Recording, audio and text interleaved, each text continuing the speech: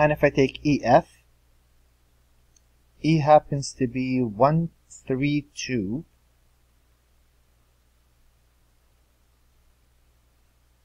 So this is 3 by 1. And F, F is 241. F is 241. This is 1 by 3. So the inners match. And the outcome is a 3 by 3. Look at that. That small nice thing is going to give this big thing. Oh, that happens. And how does it work? Now, remember how this works. To generate the first row, I use the first row. The first row is only a single entry. For the first, multiply by the first. 1 times 2 is 2. Done. 1 times 4 is 4. 1 times 1 is 1. There it is. To generate the second row, I use the second row. The second row is also an entry. One entry. That's okay. To get the first, I multiply it by the first. That's a 6. That's a 12. And that's 3. And to generate the last row, I use the last row, which is a single entry. 2 times 2 is a 4. 2 times 4, that's a 8. And that's 2. And there it is. Fairly simple. Just takes a bit of practice. And what if I do EF? Well, it's right there. E is 2, 4, 1. And F is 1, 3, 2. So this is a 1 by 3. This is a 3 by 1. The inners match. And the outcome is a 1 by 1. The outcome is just a single entry. And how is that? Well, hey, to get that first row, I use, there's only one row. 2 times 4 is 2, plus 4 times 3 is a 12, and 1 times 2 is a 2. And that would be simply 14, 16. So once you get the hang of this multiplying, it's not that bad. It's kind of repeated.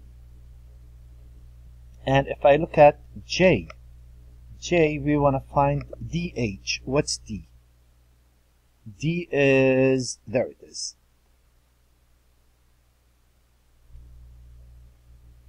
Oh boy, okay, it's very hard to copy.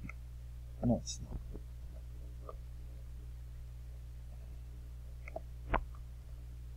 Okay, there's D. And H, what's H? Where's it? Oh, there's H.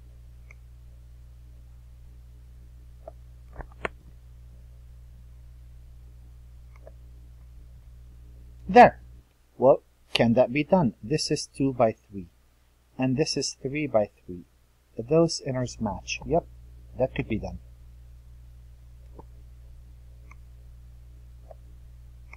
And what would that be? That would be a 2 by 3. That would be a 2 by 3.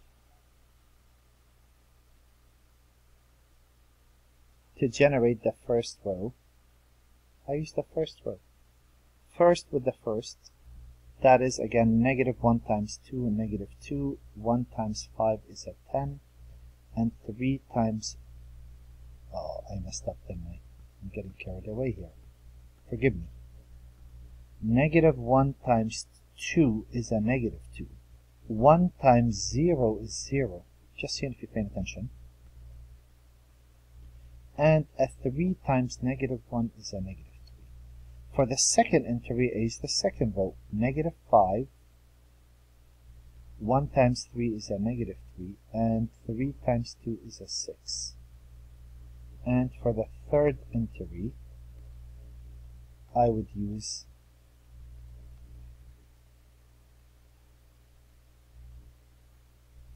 negative 1 times 1, that's a negative 1 plus 6 plus 3. So the first row turns out to be a negative 5, a negative 8 plus negative 2, and a 9 minus 1 is an 8. And to generate the second row, I'm going to really use the second row. To generate the second row, I'm going to use the second row. And that would be what? For the first, 4 times 2 is an 8, 3 times 0 is a 0, and 1 times negative 1 is a negative 1. For the second, that's 20 minus 9 plus 2. And for the last, that is 4 plus 18 plus 1. That turns out to be a 7. 22 minus 9. What is 22 minus 9? 13, is that right? Uh, 22 minus, no. Yeah, 13. And 18, 19, 23. And if they say find a squared, it is simple, but not as simple as you think. That doesn't mean you square anything. If they say find a squared, that means you take a and you multiply it by itself. a is 1, 2, 3, 4. So a squared is really 1, 2, 3, 4 times 1, 2, 3, 4. And that's a 2 by 2. To generate the first, use the first. So the first the first. 1 times 1, that's a 1, and 2 times 3 is a 6. 1 times 2 is a 2, plus 2 times 4 is an 8. Then with the first row for the second, take 3 times 1 plus 4 times 3. And for the second, use the second 3 times 2 plus 4 times 4. So you'll notice this is not squaring each entry. That's a 7, 10, 15 and 22. And the last aspect of this section is very important for our next section. So I need to make sure you understand this. If you have a system of equations, you could write the system of equations as, so you copy the coefficients multiplied by the variables, provided they match. And the constants will be what's on the right hand side. And that's really what we did on the right hand side. Now let me elaborate really quick. And let's make sure we get this and we understand it? Because again you're gonna have to do that in the next section. If I look at this isn't this a 2 by 2 uh, let me leave some space so we could prove this. And isn't this a 2 by 1 the inners match. And the outcome is a 2 by 1 to generate the first, I'm going to use the first.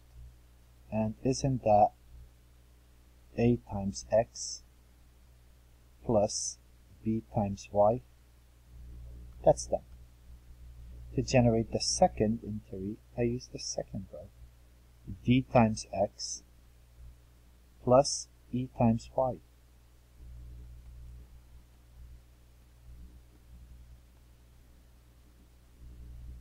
and that equals CF.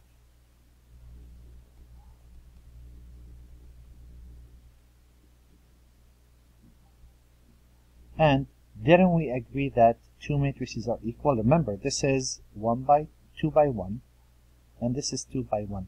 Aren't those equal if and only if this entry equal that? And this entry equal that?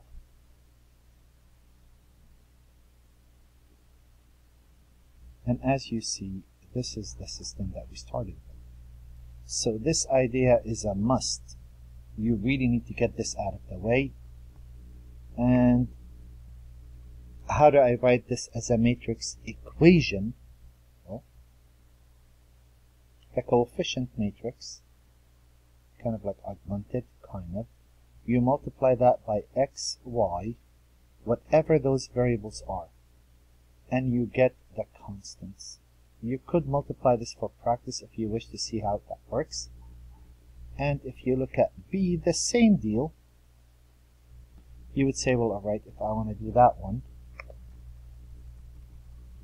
to have space, I would say, let me get the coefficient matrix, that is the 1, negative 3, 1, 2, 1, 0, 1, 2, 4. And if I multiply that by, in this case, what are the variables? x, y, z. And that would equal the constants, which is 3, 5, and a negative 2. This means I'm going to take matrix A, multiply it by vector x and get the constant b. No need to worry much about that, but that's coming up in the next section. and that would be it for this section.